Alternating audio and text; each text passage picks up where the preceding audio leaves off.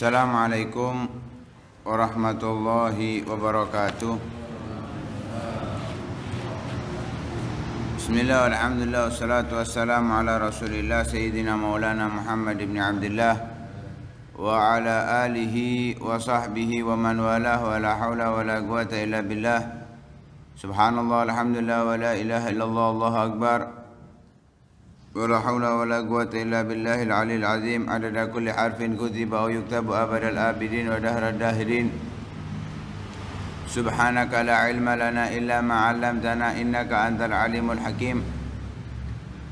نوينا التعلم والتعليم والنفع والانتفاع والمذاكرة والتذكير والإفادة والإستفادة والحث على التمسك بكتاب الله. وسنة رسوله والدعاء إلى الهدى والدلالة على الخير ابتغاء وجه الله ومرضاته وقربه وثوابه سبحانه وتعالى Melanjutkan pembahasan kita pada pertemuan yang lalu di dalam menjelaskan tentang pimpinan keluarga yang mulia yaitu keluarga Rasulullah Shallallahu Alaihi Wasallam beliau sendiri Nabi Muhammad Shallallahu Alaihi Wasallam. Namun di sini lebih banyak menjelaskan tentang kemuliaan keluarga Nabi pada umumnya. Jama'allahu lahumul minnah bil intisab ila habibihi sallallahu alaihi wasallam rahiman wa nasaban. Allah mengumpulkan untuk keluarga besar Nabi Muhammad sallallahu alaihi wasallam anugerah yaitu berbentuk dengan sambung kepada Nabi Muhammad sallallahu alaihi wasallam secara kekerabatan dan secara nasab. Sambung dengan Nabi Muhammad secara kekerabatan ataupun secara nasab. Wa taufik ila ta'atih. Juga Allah mengumpulkan anugerah dengan taufik untuk berbuat taat kepada Allah. Selain mereka sambung dengan Nabi, mereka diberikan taufik oleh Allah Subhanahu wa taala untuk taat kepada Allah. Baik secara amal ibadah maupun adab. Karena itu tidak ada seseorang yang lebih beradab daripada zuriyah Nabi Shallallahu alaihi wasallam. Khususnya beradab kepada Allah Subhanahu wa taala. Sehebat apa pun ilmunya, semulia apa pun derajatnya, masalah adab tidak ada yang bisa mengungguli keluarga Nabi Shallallahu Alaihi Wasallam. Walaupun secara zahir, apalagi kita di Indonesia, seakan-akan orang Indonesia ini, oh adabnya luar biasa. Tapi banyak kesalahan yang terjadi di dalamnya karena terlalu hulu berlebihan di dalam beradab. Kadang itu kalau sudah mau uh, kiainya lewat atau lewat di hadapan kiainya sampai ngengsreng-ngengsreng. Itu bukan adab yang diajarkan Nabi Muhammad. Karena apa? Kalau secara zahir saja percuma. Karena adab itu yang paling penting adabul batin. Adabnya hati. Kalau lohirnya merunduk seperti itu tapi hatinya merasa pose nang ulama kok harus kok ngene sama saja lebih baik tegak biasa tapi hatinya merasa takut merasa malu merasa memuliakan orang tersebut itu yang diajarkan oleh Rasulullah Shallallahu Alaihi Wasallam karena itu nggak ada ceritanya sahabat kalau di depannya Nabi kalau mau keluar itu ngengsreng ngengsreng nggak ada. Mereka benar-benar hatinya yang merasakan tawadhu atau merasakan penghormatan kepada Nabi Shallallahu Alaihi Wasallam. Saking kuatnya sampai anggota tubuhnya itu secara otomatis.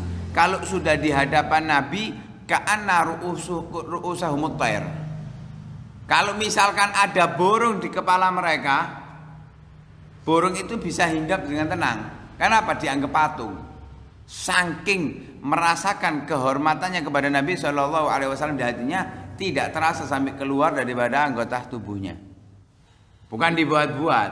Karena itu tidak ada dari keluar tidak ada yang bisa melebihi adab yang dilakukan oleh keluarga Nabi Shallallahu Alaihi Wasallam. Karena itu pemberian dari Allah, pemberian dari Allah Subhanahu Wa Taala.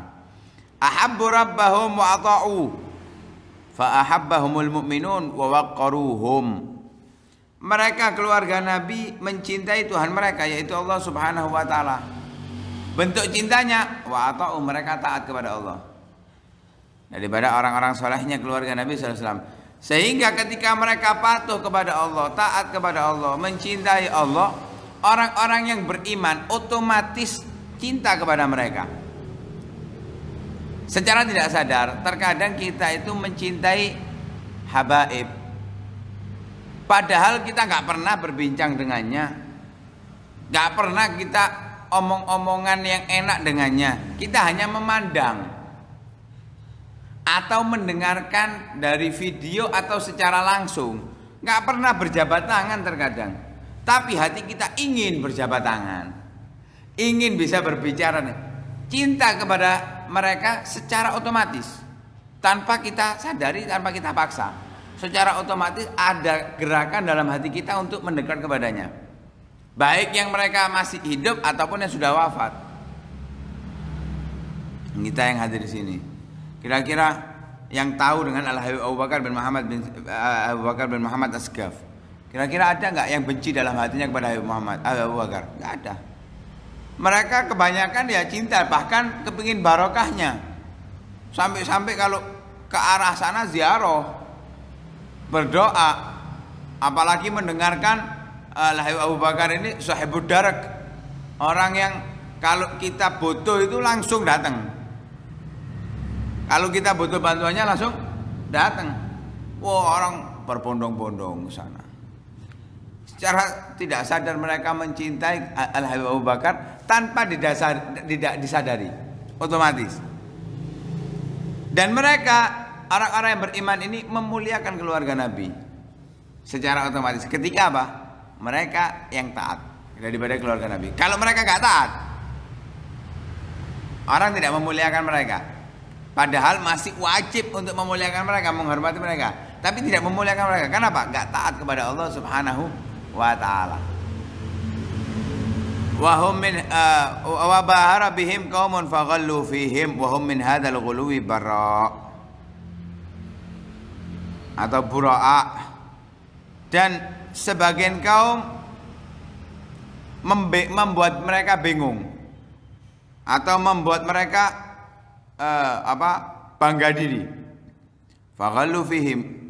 Sehingga sebagian daripada uh, keluarga Nabi ini berlebihan ingin dimuliakan ingin dihormati. Padahal itu bukan ajaran Nabi Muhammad. Lah keluarga Nabi Muhammad yang diberikan oleh Allah taufik tadi terbebas daripada tipu daya orang-orang yang demikian. Wahagada alaihim ahlu dunia pecinta-pecinta dunia, orang-orang yang punya ambisi di dalam dunia pasti dendam kepada keluarga Nabi Shallallahu Alaihi Wasallam. Nah, di antara cinta dunia kan hubbul jah wal manzilah cinta kedudukan. Lah sedangkan mereka walaupun mungkin tampilannya orang yang berilmu, ulama, kalau mereka itu ulama dunia yang mencari kedudukan, mencari jabatan, mencari pangkat di sisi manusia, harta, mereka akan benci kepada keluarga Nabi dan itu sudah jelas sama sekarang tambah jelas. Di akhir zaman semakin lama semakin Jelas mereka yang menginginkan kedudukan takut tidak direspon oleh masyarakat ketika ada keluarga Nabi yang mulai disanjung-sanjung mereka ketakutan. Mereka mulai membuat sesuatu yang membuat keluarga Nabi ini dihinakan lagi. Agar apa? Tidak mengubah posisi mereka. Padahal keluarga Nabi tidak diajarkan untuk merebut kekuasaan ataupun semisalnya. Keluarga Nabi ini ibarat jembatan untuk mereka selamat daripada afatud dunia. kehancuran-kehancuran yang ada di dunia khususnya afatul akhirah. Wa sultan wa du'afa'un nufus. Juga yang benci kepada mereka, dendam kepada mereka orang-orang yang mencari kekuasaan dan orang-orang yang keimanannya lemah. Akan dendam kepada keluarga Nabi sallallahu alaihi wasallam. Fama ghuluwul ghalin wala hikdul hakidin. Tidak akan membahayakan keluarga Nabi sama sekali orang yang terlalu berlebihan dalam memuji keluarga Nabi. Atau tidak akan memuliakan eh, membuat bahaya membahayakan keluarga Nabi dengkinya dendamnya orang-orang yang dendam wa fi uyunin nas bahaan min Rasulillah sallallahu alaihi wasallam yas'adu bi syuhudihi salihun. Wa riwaan min azamatil haqqi yatatalla bihi ila yatatalla ila ru'yatihil mu'minun. Wa abiran min dauhatin nabi nubuwah yamla'u sudural muhibbin birridha wal yaqin. Mereka menjadi di pandangan manusia adalah pancaran daripada Rasulullah Shallallahu Alaihi Wasallam yang akan beruntung orang yang memandang Rasulullah. Siapa yang beruntung? Orang-orang soleh. Orang-orang soleh yang bisa memandang Rasulullah akan beruntung. Lah mereka keluarga Nabi itu pancaran daripada Rasulullah. Karena itu Al Habib Ali bin Muhammad Al Habsyi dalam salah satu bait syairnya mengatakan bakat man gad ra'ahum aw ra'aman ra'ahum. Beruntung orang yang melihat mereka para salafun saleh. Atau orang yang melihat orang yang soleh dari salafun saleh. Melihat mereka atau melihat orang yang melihat mereka. Lah keluarga Nabi abun yatalaqqa an abihi. Abun yandur an abihi. Mereka satu dari anak ke ayah melihat ayahnya, ke ayah melihat ayah sampai Nabi Muhammad SAW sambung sehingga mereka ini memancarkan. Loh, kok bisa? Cerita tentang Isra Mi'raj. Nabi Musa ketika bertemu dengan Nabi Muhammad awal naiknya merasa ngerasa kalah saing dengan Nabi Muhammad ini orang datang setelahku tapi mendapatkan kemuliaan lebih dari aku. Tapi memang mereka sudah mengetahui kedudukan Nabi Muhammad SAW sampai berjumpa dengan Allah. Ketika turun bertemu dengan Nabi, Nabi Musa kembali, Nabi Musa melihat wajahnya Nabi Muhammad ini berbeda dengan sebelumnya, lebih bersinar dan lebih menyenangkan. Karena Nabi Musa tahu ini mendapatkan pantulan dari Allah Subhanahu wa taala karena setelah memandang Allah. Sehingga kena merasakan kenikmatan Nabi Musa itu meminta kepada Nabi Muhammad untuk meminta kortingan sholat. Padahal secara hakikatnya nggak ada ruginya kalau misalkan tetap 50 rakaat sholat itu untuk Nabi Musa. Apa ruginya Nabi Musa? Umat Nabi Muhammad 50. Nggak ada ruginya sama sekali. Tapi Nabi, Nabi Musa menginginkan untuk mendapatkan lebih daripada cahaya Allah yang ada di wajahnya Nabi Muhammad tadi. Karena di kehidupan dunia nggak mampu Nabi Musa. Nah saat itu bisa melihat, merasakan kenikmatannya. Kembali lagi, ketemu Nabi Musa lagi, lebih lagi. Sehingga terus minta kortingan, minta kortingan, minta kortingan. Kenapa? Nabi Musa tahu Nabi Muhammad itu kasihan sama umatnya. Jadi dikasih alasan yang bisa masuk akal. Umatmu nggak mampu, kasihan. Umatku aja yang lebih kuat nggak mampu, apalagi umatmu. Nabi Muhammad turuti alasannya karena umatnya pintarnya Nabi Musa itu tujuannya apa mendapatkan cahayanya Allah melalui Nabi Muhammad begitu juga keluarga Nabi mendapatkan cahayanya Nabi Muhammad dari tak pantulan wajah dari orang tua ke anak ke anak ke anak sampai saat ini karena itu mereka adalah pantulan cahaya Nabi Muhammad Shallallahu Alaihi Wasallam yang memandang mereka secara hakikatnya mereka memandang Rasulullah Shallallahu Alaihi Wasallam secara tidak langsung dan mereka adalah merupakan pantulan juga cahaya daripada keagungan Allah Subhanahu wa taala. Jelas karena Nabi Muhammad memantulkan cahayanya Allah Subhanahu wa taala yang ingin dilihat oleh orang-orang yang beriman.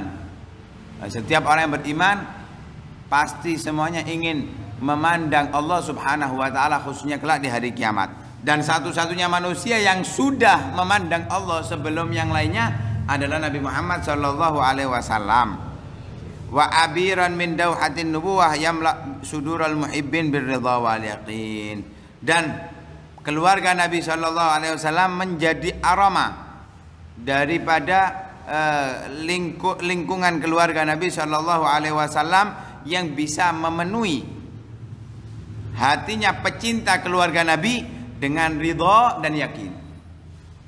Nah, di sini uh, bisa kita pahami bahwa ketika kita benar-benar mencintai keluarga Nabi, menghormati, memuliakan mereka, akan tumbuh dalam hati kita keridhaan kepada Allah dan yakin bahwa kita akan menjadi orang-orang yang beruntung yang selamat sebab mereka. Kalau mereka benar-benar mencintai dan memuliakan keluarga Nabi Shallallahu Alaihi Wasallam. Ghamaru fil ilmi fasabaku. Ketika keluarga Nabi menyelami suatu ilmu, mereka, akan mengungguli yang lainnya. Siapa pun pakarnya, tapi kalau sudah keluarga Nabi mau menyelaminya, akan disalib dan akan dikalahkan. Al Imam Abdullah bin Alawil Haddad. Beliau itu sudah sampai derajat mujtahid mutlak. Mujtahid mutlak itu setingkat Imam Syafi'i, Imam Abu Hanifah, Imam Malik dan Imam Ahmad bin Hambal. Tapi karena adab dengan salafun saleh, nggak mau membuat mazhab baru, nggak mau. Mengikuti salafnya mengikuti salafnya mereka berjalan di jalannya madhab khususnya madhab Imam Syafi'i bahkan beliau pernah mengatakan laulal adab ma'as salaf lagallatul malik fil ma kenapa beliau lebih paham beliau mengetahui bahwa masalah air ini lebih tepat pendapatnya madhabnya Imam Malik menurut Al-Habib Abdullah bin Ali Al-Haddad bisa men bisa sampai derajat seperti itu. Nggak mudah. Kalau kita tahu matangnya. Kalau Imam Imam Imam Abdullah bin Al Haddad bukan hanya tahu matangnya, secara ilmu fikihnya, eh, secara hadisnya, secara, secara tafsirnya, mafhum mafhum mantuknya, mafhum eh, apa eh, apa sebaliknya bisa difahami secara sempurna oleh beliau. Sehingga beliau mengatakan lebih tepat pendapatnya Imam Malik. Cuman karena adab dengan salaf tetap aku pakai pendapatnya Imam Syafi'i Imam Malik mengatakan air itu yang penting nggak berubah nggak najis baik atau sedikit sama saja. Tapi kalau Imam Syafi'i enggak. Kalau airnya sedikit kalau kejatuhan najis ya najis berubah ataupun tidak. Kalau banyak kalau berubah najis kalau nggak berubah nggak najis. Itu perbedaan antara mazhab Imam Syafi'i dan Imam Malik. Lah Imam Imam Abdullah bin Alawil Haddad menyatakan lebih condong kepada Imam Malik. Karena istihad yang beliau dapatkan. Tapi apa yang dilakukan? Mereka nggak mau menjadi pemimpin mazhab atau semisalnya nggak. Adab mereka jalankan. Padahal apa? Ilmu sudah diselami. Sudah dirasakan. Bahkan kalau dikatakan Imam Ghazali itu luar biasa oleh para ulama-ulama sebelumnya. Bahkan Al Imam Abdullah bin Al Haddad pun memuji Imam Imam Ghazali dengan sedemikian rupa. Tahukah kitab-kitabnya Imam Abdullah bin Haddad itu adalah khulasoh, ringkasan daripada Ihya Ulumuddin. Kalau kepingin bisa memahami Ihya Ulumuddin, fahami kitabnya Abdullah Haddad, kita akan bisa memahami Ihya Ulumuddin. Kenapa? Dirangkum oleh beliau dengan silsilah Haddadiyah. Kita pahami apa yang ada di silsilah al-hadadiyah, kita akan bisa memahami apa yang ada di Ihya Ulumuddin. Itu ringkasannya, khulasohnya. Lo orang yang bisa ngeringkas itu bukan orang sembarangan, orang yang luar biasa. Eh, wajadu fil amal fa'ajazu. Ketika mereka sudah semangat di dalam amal ibadah, nggak ada yang bisa melampaui ke kekuatan ibadah mereka. Kalau kita pandang yang ada saat ini aja, yang ada saat ini seperti Al Umar bin Muhammad bin Salim bin Hafid beliau itu kalau sudah Ramadan benar-benar waktunya full untuk ibadah. Luar biasa. Hampir tidak pernah terlihat tidur. Illa ghafawat. Ya keturunan saya seperti orang-orang yang hadir pengajian dulu. Ya seperti itu tidurnya mereka. Tidurnya Al Umar itu Al Habib Salim bin Hafid, uh, Habib Salim Syadiri posisi dengan kaki yang seperti itu. Harus menggunakan kursi roda itu setiap Ramadan tidak kurang terawih lima kali Setiap tarawihnya 20 rakaat. Ini lima kali setiap malamnya. Kita sekali aja abot-abot. Tidak ada yang bisa mengungguli kekuatan ibadah mereka ketika mereka semangat di dalam ibadah. Wajahadu fillahi wasabaru wajah wasadaku. Ketika mereka berjihad, mereka sabar dan mereka jujur di dalam niat jihadnya. Gak ada campuran apa pun dan keberanian mereka tidak ada yang mengungguli yang lainnya. Kalau diceritakan Sayyidina Umar bin Khattab itu keberaniannya luar biasa. Tahukah Anda, Sayyidina Ali bin Abi Thalib lebih berani daripada Sayyidina Umar. Ketika uh, Amr bin Wud kalau nggak salah, itu ada orang yang sangat kekar tinggi. Bahkan diceritakan kalau naik onta, nggak perlu ontanya duduk. Onta itu kan tinggi, nggak perlu ontanya duduk, saking tingginya. Saat itu perang Khandaq kalau nggak salah, perang Khandaq.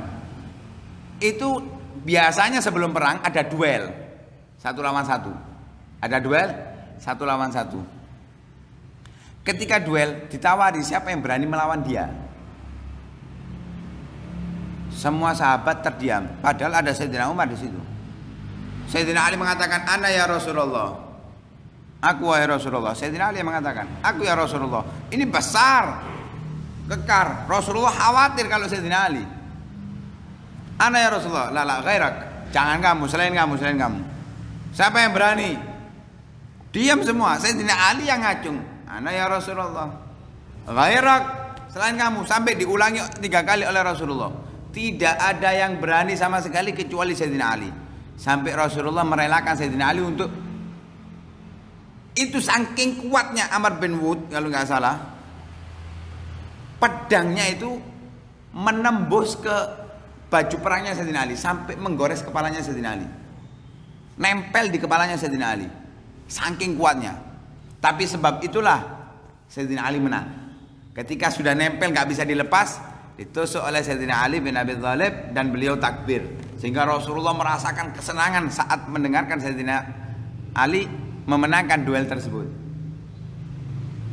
keberanian Sayyidina Ali bin Abi Thalib melebihi daripada yang lainnya. Ketika keluarga Nabi sudah mengatakan jihad, tidak ada yang bisa melampaui kekuatan mereka dalam jihad.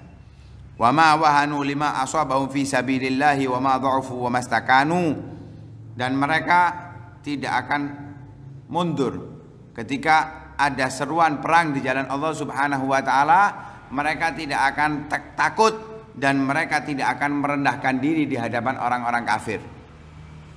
Sehingga mereka banyak yang gugur di medan perang sebagaimana yang didapatkan oleh orang-orang yang sabar dan orang-orang yang abror. Fa'afadu ila rabbihim liyajziyahum bima alim bima alimahum min sidqi niyatihim. Sehingga mereka uh, mengalir berjalan kepada Allah Subhanahu wa taala agar mendapatkan balasan dari Allah Subhanahu wa taala dengan apa yang Allah ketahui dari mereka dari kejujuran niat mereka. Keluarga Nabi kalau sudah benar-benar ibadah lillah. Kalau sudah perang ya lillah, nggak ada tujuan lain. Sehingga mereka ketika melakukan ibadah mereka seakan-akan datang kepada Allah untuk diberi bayaran oleh Allah Subhanahu wa taala, bukan bayaran dari makhluknya Allah Subhanahu wa taala. Dan Allah sudah mengetahui hati mereka yang bersih dan Allah adalah zat yang paling baik dalam membalas kebaikan yang lainnya. Mudah-mudahan Allah Subhanahu wa taala menjadikan kita orang-orang yang sangat memuliakan mereka, mencintai mereka dan mudah-mudahan apa yang dilakukan oleh keluarga Nabi dari kebaikan ketaatan tersalurkan kepada kita keberkahannya. Amin amin ya rabbal alamin. Sallallahu alaihi wasallam Muhammadin wa ala alihi wasallam. Alhamdulillahirabbil alamin.